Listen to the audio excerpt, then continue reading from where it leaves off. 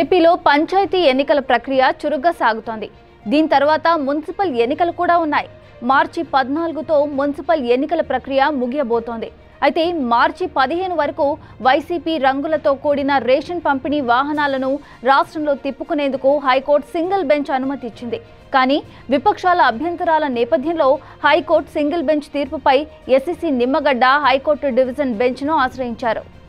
ఏపీలో మార్చి పదిహేను వరకు వైసీపీ రంగులతో కూడిన రేషన్ పంపిణీ వాహనాలను తిప్పకుండా ఆపొద్దంటూ హైకోర్టు సింగిల్ బెంచ్ ఇచ్చిన తీర్పు సమంజసంగా లేదని ఎస్సీసీ నిమ్మగడ్డ భావిస్తున్నారు.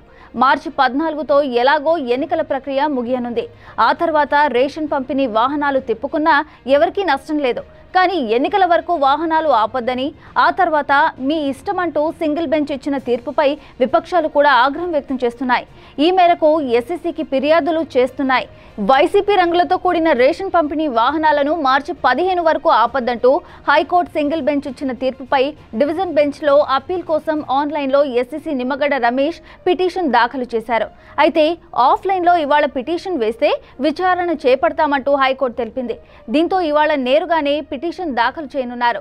దీన్ని అత్యవసరంగా విచారించాలని ఎస్సీసీ కోరడంతో ఇవాళే విచారించేందుకు హైకోర్టు సిద్ధమైంది.